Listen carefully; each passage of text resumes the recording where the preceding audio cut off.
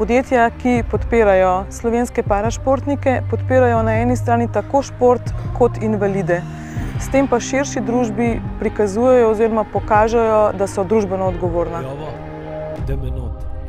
To mora iti ven iz mene. Ko se je Tokio, paralimpijske igre v Tokiu leta 2020 obetale kot en zelo spet velikanski dogodek za vse in najbolj pomemben dogodek za vse parašportnike, smo se odločili, da bomo para, našo paralimpijsko zgodbo skupaj z Zvezo za šport invalidov podprli z eno večjo kampanjo.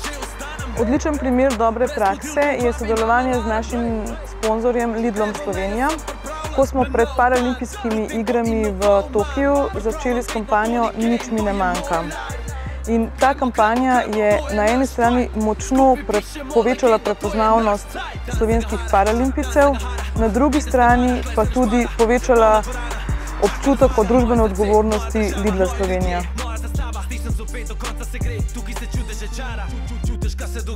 Nismo želeli izpostaviti samo parašportnikov, ki bodo šli dejansko na paralimpijske igre, ampak slovenski javnosti pokazati, kaj vse pravzaprav parašport lahko pomeni in ne nazadnje, da šport je tisti, ki ustvarja boljši svet.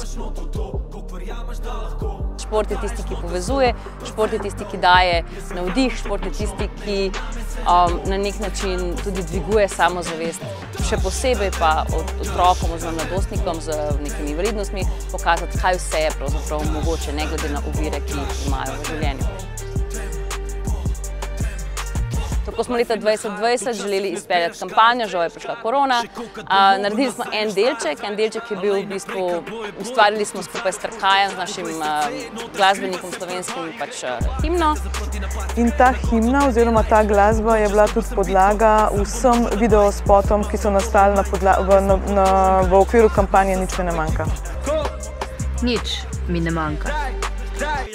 Jaz mislim, da je dobra povezava sveta podjetništva, sveta kulture in sveta športa. In da ko te trije um, elementi skupaj stopijo, lahko res naredijo nekaj, kar je družbeno odgovorno in naredijo nekaj, da enostavno pač premaknejo vsaj svojega dela. Ne? Kampanja Nič mi ne manjka se je pojavila po vsej Sloveniji. Tako da so bili naši parašportniki na jumbo plakatih, po televiziji, na različnih razstavah, city lightih. Po prvem sklopu kampanje, torej pred paralimpijskimi igrami v Tokiu, smo po igrah naredili raziskavo na slovenskem trgu in se je pokazala enormna, več, enormno večja prepoznavnost slovenskega parašporta in slovenskih parašportnikov, hkrati pa tudi večja prepoznavnost sodelovanja z Lidlom. Nič mi ne manjka, razen še več popolnih zavojev.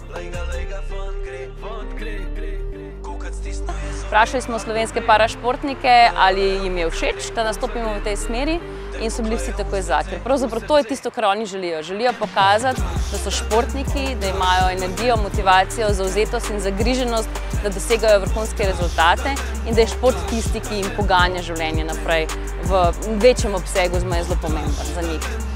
Istočasno je pa v bistvu Lidl s tem nekako nastavil tudi platformo, da se še močneje pokažemo kot ponosni podpornik slovenskih parašportnikov in da pokažemo, da smo družbeno odgovorno podjetje in ne nazadnje skupaj z Zvezo s tak način ustvarjamo tudi prodorno kampanjo, ki je poskrbela in to imamo res dobre rezultate tudi za prepoznavnost slovenskih parašportnikov v slovenski javnosti.